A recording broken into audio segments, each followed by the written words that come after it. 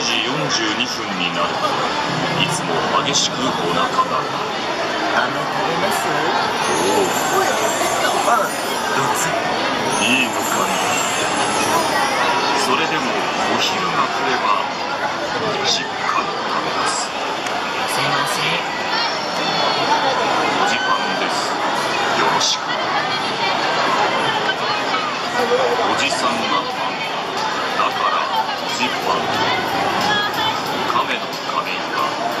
おじパンと暮らしている二人はいつも一緒会社も同じ亀井がステップを踏み出せば周りもつられて踊りますそれってまさか仕事してた雨だけじゃないこのモルモットのおっさんたちは会社の先輩モッさん Simply not.